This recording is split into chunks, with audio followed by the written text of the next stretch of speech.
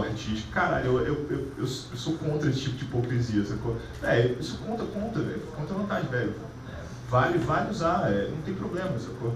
Eu acho que o, grande lance é, é meio que entender qual produto você tem e que tipo de gente vai consumir isso. Por exemplo, o Dilo, ele atacaria muito, ele ataca muito bem esse público que busca coisas, sacou? Ele ainda existe.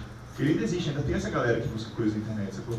que, cara, consome uma, uma parte do Rio, principalmente, São Paulo, tipo de música, que, velho, é segmentado, mas, caralho, tem público, as pessoas vão nos shows, consomem produtos, etc. E, e essa é a nossa estratégia nova para eles, sacou? É, tipo, buscar esse tipo de, de consumidor que tá por novidades, assim, e, tipo, quer realmente ser desafiado, quer ouvir verdade, sabe? Então, assim, é, é entender qual produto você tem, como é que você vai dedicar esse produto. Mas você acha que esses públicos conversam? Por exemplo, não. você acha que. É isso que eu ia falar, a gente já até falou isso uma vez, né? Imagina o Dino tocando com o Scalene, pau vai quebra. Vai rolar, vai rolar. Então, mas vai eu, rolar fico imaginando esse. O que, que é essa galera recebendo isso, entendeu? Porque são muitas. Cara, assim, eles. Aliás, esse programa do rock ano passado foi isso, não foi?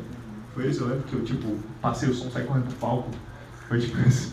É, enfim, é, foi, eu acho que o público não entende, assim, não está preparado, assim, até porque o tipo de comunicação é muito diferente dessa nova geração. É, é, lógico que eu penso que uma boa parte desse público que é mais engajada, ligada em assuntos interiores, é, vai entender a música, vai receber a música do Dilo de forma aberta, assim.